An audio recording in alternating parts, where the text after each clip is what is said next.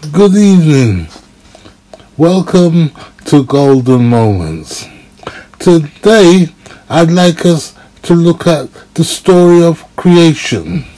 When the cosmos was created, the universe as we know it. The Bible says, Genesis 1, God created the heavens and the earth. God announced himself, God.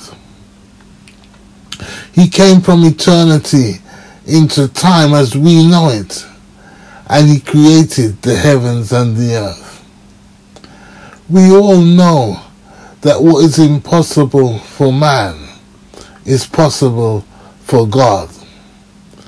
And we see the story of creation. He took six days and rested on the seventh.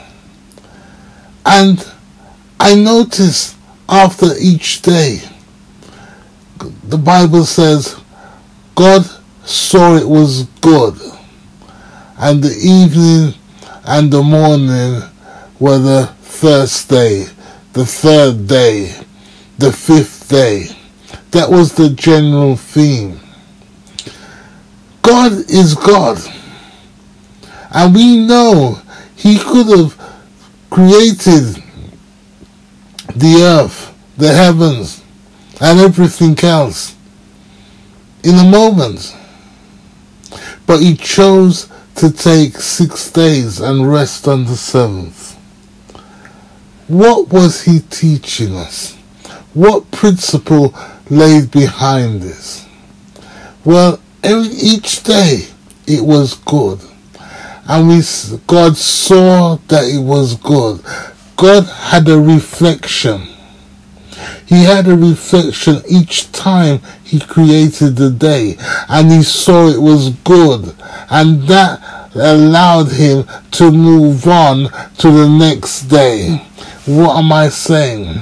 Friends, when we begin to reflect on our day, on our week, on our month, just like God, we are made in his image and in his likeness and our creative beings.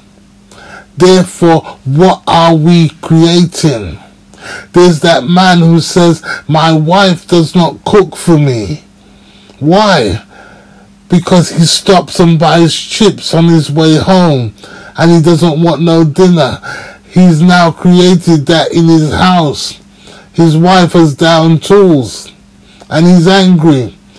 That man whose son does not speak to him. Why? Because every time he speaks to him, all he does is F and blind. He's created that in his house. He's created that divide between himself and his son.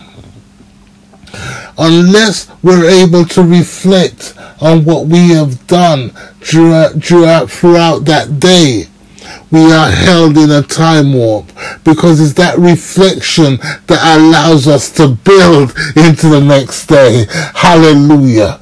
Glory to God. Thank you, friends. Amen.